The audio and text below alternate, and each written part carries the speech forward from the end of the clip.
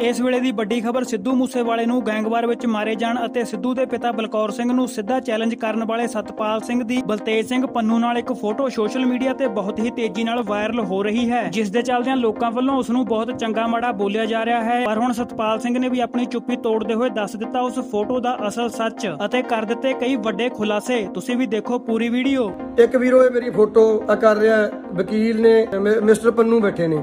ਉਹ ਵੀਰੋ ਫੋਟੋ ਹੈਗੀ ਆ ਕੋਟਕਪੂਰੇ ਢਾਬੇ ਤੇ ਰੋਟੀ ਖਾਂਦੇ ਦੀ ਜਿਸ ਦਿਨ ਡਿਪਟੀ ਸੀਐਮ ਸਾਹਿਬ ਨੇ ਉੱਥੇ ਆਪਦਾ ਜ਼ਮਾਨਤੀ ਬੌਂਡ ਭਰਿਆ ਤੇ ਮੈਂ ਹੁਣ ਤੁਹਾਨੂੰ ਵੀਰੋ ਦੱਸ ਦਿੰਦਾ ਮੈਂ ਨੌਕਰੀ ਛੱਡ ਕੇ ਗੁਰੂ ਗ੍ਰੰਥ ਸਾਹਿਬ ਦਾ ਮੇਨ ਗਵਾਹ ਹਾਂ ਦੋਨੋਂ ਬਾਈਬਲ 'ਚ ਵੀ ਤੇ ਕੋਟਕਪੂਰੇ 'ਚ ਵੀ।